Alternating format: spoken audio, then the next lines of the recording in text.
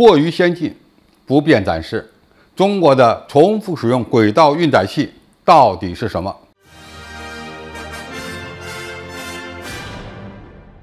观众朋友、网友朋友，大家好，我是付先少。据中国航天科技集团微信公众号报道，八月二十六日，由中国航天科技集团有限公司医院自主研制的升力式亚轨道运载器重复使用飞行试验获得圆满成功。据报道，飞行试验采用的运载器在酒泉卫星发射中心再次点火，垂直起飞，按照设定的程序完成了亚轨道飞行。平稳水平着陆于阿拉善右旗机场，成功实现了我国亚轨道运载器的首次重复使用飞行。本次飞行试验的圆满成功，有力推动了我国航天运输技术由一次性使用向重复使用的跨越式发展。那么，这种可重复性使用的飞行器，到底是一种什么样的航天器呢？有人说，这次。我国发射的可重复使用的飞行器，是中国自行研制的空天飞机。那么这种说法有道理吗？我个人看法是不准确的。当然，也有人推测这是中国版的 X 三十七 B。那么 X 三十七 B 是一种什么样的航天器呢？美国研制的 X 三十七 B 是无人驾驶的航天飞机。我们知道，过去美国发射的哥伦比亚号、挑战者号等航天飞机啊，都是载人的。他们能在天上停留几天，甚至十几天，执行完任务以后，带着航天员重返大气层，最后呢，在机场上降落。那么，航天飞机虽然名义上是飞机，而后来美国人研制的 X 三十七 B 就不是载人的航天飞机了。而是无人驾驶的航天飞机。那么，有人驾驶的航天飞机和无人驾驶的航天飞机，它们最大的区别是留空时间。它们的区别之一，大小不一样。有人驾驶的航天飞机重量比较大，而无人驾驶的航天飞机个头也好，重量也好，都比较小。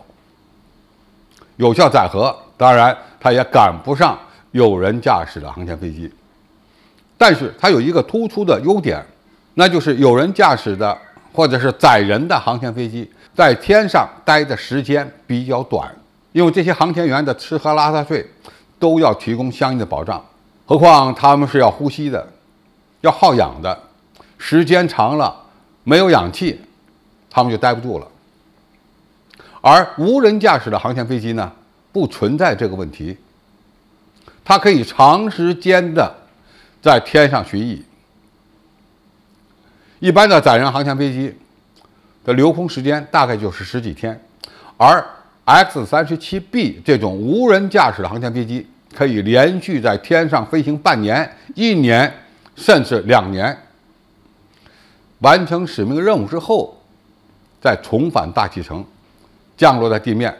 将相应的载荷带回来，或者是进行修理，从而能够保证它在较短的时间内重返太空。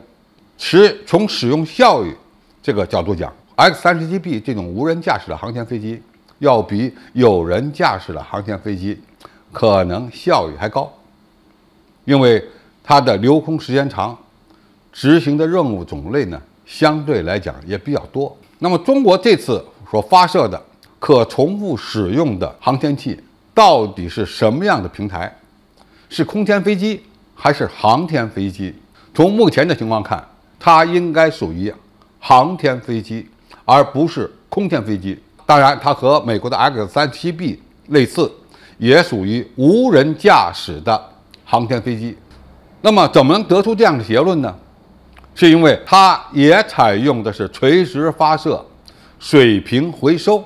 这么一个方案，那么垂直发射是由运载火箭把它们送入近地轨道，在天上绕几圈，或者是飞行很长时间之后，重返大气层，在机场降落。那么航天飞机和空天飞机又有什么区别呢？为什么说我们这次发射的是无人驾驶的航天飞机，而不是无人驾驶的空天飞机呢？因为二者存在着本质区别。无论是载人的航天飞机，还是无人驾驶的航天飞机，从理论上讲，或者从定义上讲，它们不是飞机。那么有人觉得，航天飞机不是飞机，那是什么？它们是滑翔机，因为它们都不带动力。那么有人会说，航天飞机或者是 X 三十七 B 不是有动力吗？它们的动力很小，只是用于飞机姿态的调整和改变的，无法让航天飞机在大气层中做水平飞行。因此，它们整个的降落过程只有一次机会。就从外太空返回大气层之后，滑降，啊，降到机场附近以后，对准跑道下滑降落，整个过程只有一次机会。如果跑道没对准，或者是气象条件不允许安全着陆，那么他们没有第二次机会了。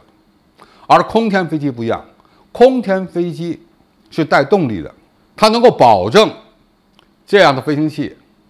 在大气层内，特别是在中间层，这种一般飞机到达不了的高空、超高空，做水平稳定飞行。那么在降落的过程中，如果一次不成功，它还可以拉起来，再进行第二次降落，甚至是第三次降落，和一般的飞机是一样的。记住，航天飞机不是飞机，它是滑翔机。而空天飞机才是真正的带动力的、可控制的飞机。好，今天评述就到这里，谢谢大家收看，我们下期再见。